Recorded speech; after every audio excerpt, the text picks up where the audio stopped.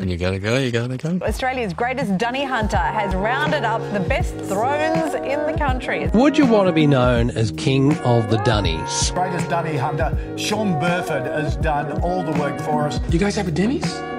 No, the dunny. This is just genius. Sean Burford, Blue Mountains resident and newly crowned king of the dunnies.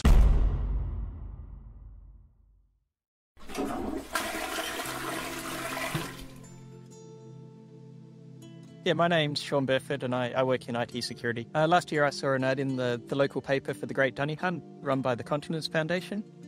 And they were looking for people to add dunnies to their, uh, their map of Australia that's got dunnies everywhere.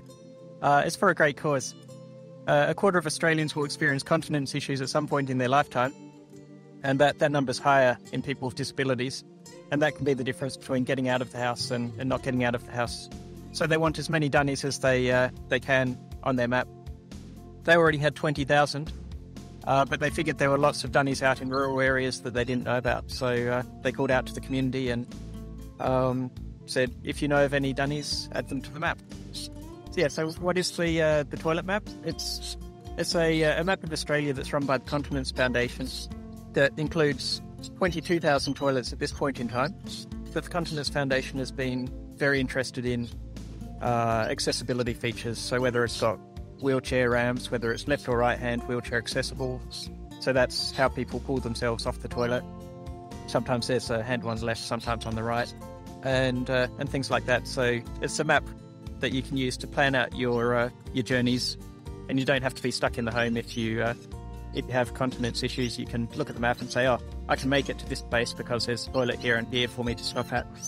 There was a, uh, a monetary prize. There was some EFTPOS cards available as the prizes, and it's a interesting technical cha- challenge. So I jumped in, and it turned out to be a really enjoyable challenge. And I ended up adding 130 dunnies to the uh, the map that year. Um, I think the uh, the Dunny King moniker was uh, created by a, a, radio host, and it's got a nice ring to it. Plus, it leads to all of the uh, the good jokes about thrones and things like that. Thank you. And that's an honorific, the uh, the king, I think. I think it is. You are you are now King Sean, Your Majesty.